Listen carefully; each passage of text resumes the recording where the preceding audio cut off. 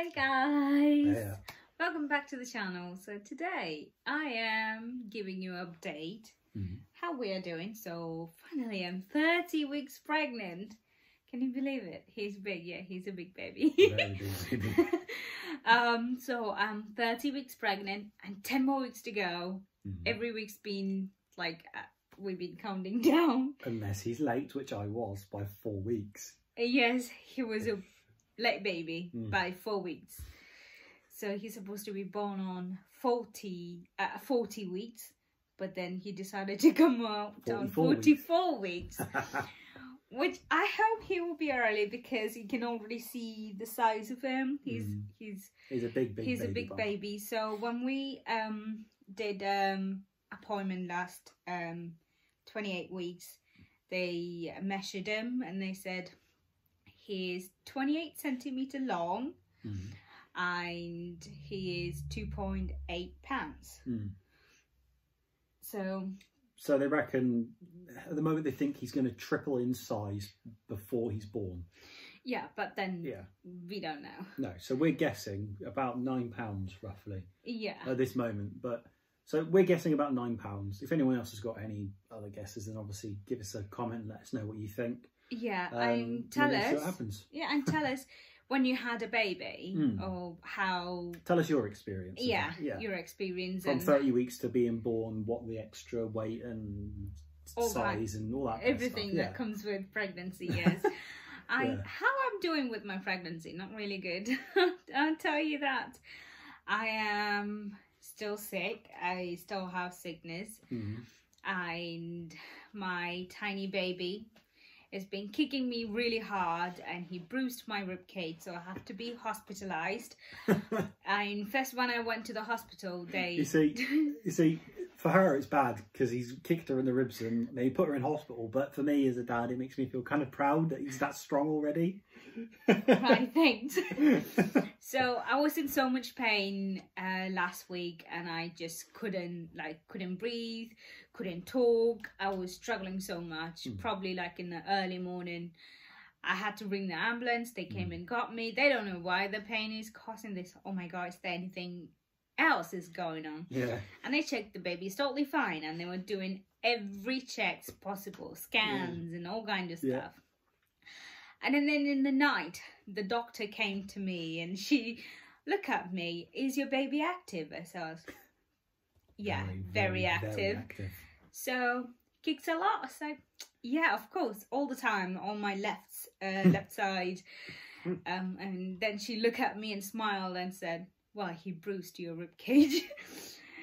and she told me that with a smile on her face. and I was at first I thought, "Are you kidding me? Is that even possible?" yeah, But then actually it is. Yeah. And I am getting better, but I still have the pain. Mm. And getting so much uncomfortable. yeah, Every day goes by. yeah. Now, And what we've been doing lately is we've been decorating or started to put furniture into his room from when he gets here. So, of course, we spoke about the other video where differences between pregnancies in India, pregnancy in England. And one of the things, of course, is that when he hits about six months old, he'll be put in his own room. So he's got a bit of independence, bit of his own space or whatever. And we've put cribs, cots, all sorts of stuff. We'll show you that now. and Everything show the baby what- some of the equipment that he's got. yeah, and we'll Hmm. show you the room. Yeah. So this is our little man room. We're gonna do some decoration here, saying this is his room, but it's not ready yet. So, and voila, this is his room. I know it's quite, it's a tiny room, but then we got quite a lot of stuff going on here.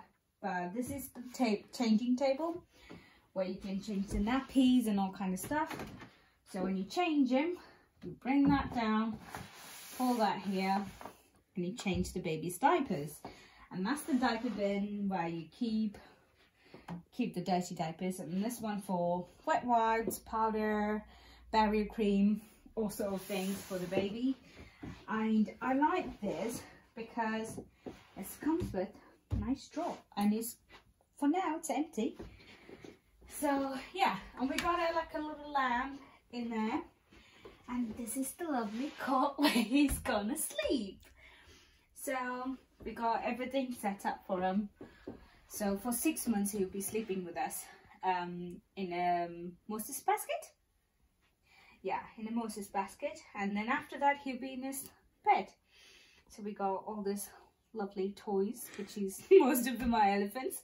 So in the future we are planning to do the walls.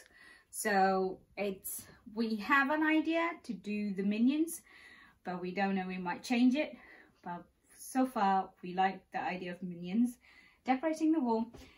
And that's from Chris's mom and dad. And car seat and what's what's that called? A shade windscreen shade. Yeah, so you've got the windscreen shades on the top, you've got the car seat there and you've got the Isofix base underneath which attaches to the car which is more secure. You've then got the baby bouncer which bounces itself.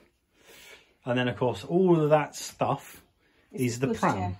It's the pushchair, pram, whatever pram, you want to call yeah, it. Yeah, whatever you call it. Yeah. And trust me, I still have no idea how to use them. but I, I, might need to get some to, uh, training before he gets here.